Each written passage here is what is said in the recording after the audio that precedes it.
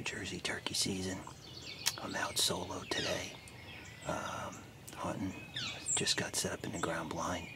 It's a little after six. Uh, I didn't rush to the ground blind this morning because they said it was supposed to be raining, but rain kind of held off.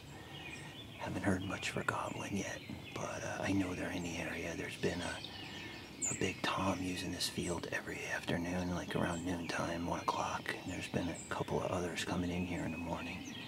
Um, hens coming through here for whatever reason. They seem to like this spot a lot.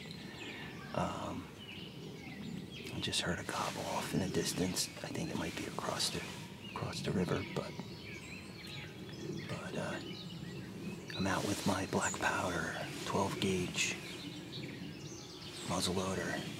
It's uh, using 80 grains of powder. It's about uh, ounce and an eighth. Uh, six shot lead. Uh, my shot's going to be close. I have to keep it close. This is only about a 20 yard gun. So uh, hopefully I call one in and we get some good footage and I, I could take one with my muzzleloader. So wish me luck.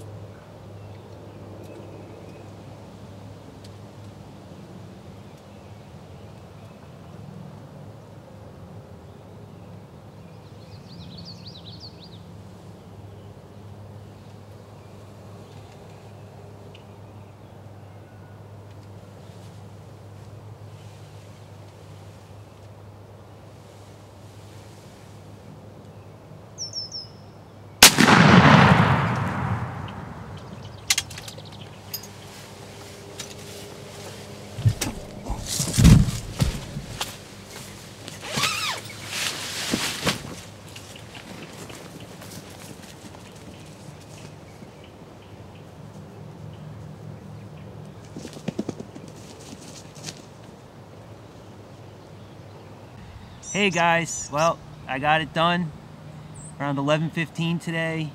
This bird came in silent, never, um, never gobbled. Um, I've been getting pictures of this this uh, bird in the field uh, pretty much every day. Um, he uh, he was strutting to my left. I noticed him about 75 yards out, 80 yards out, and then uh, he made his way to the decoys. I never called to him, you know, on his way in. I figured if he was coming, I just didn't call, as you you know you hear in the video. Um, he didn't start strutting again until he got right up up to the decoys. Uh, it looked like it. Uh, he looked great on, to me, so I'm hoping it comes out great on the video. Um, it was supposed to rain today, and the rain held off. It got a little bit of light drizzle, but uh, overall, um, it was a great day. I mean, it wasn't, uh, you know, there wasn't any gobbling going on, uh, but it still turned out to be a, a fun hunt, and uh, I was able to get it done with the 12 gauge muzzleloader, so that made it, you know, just a little bit more fun, a little more exciting. So uh, I hope you guys enjoy the video, and uh, thanks for watching.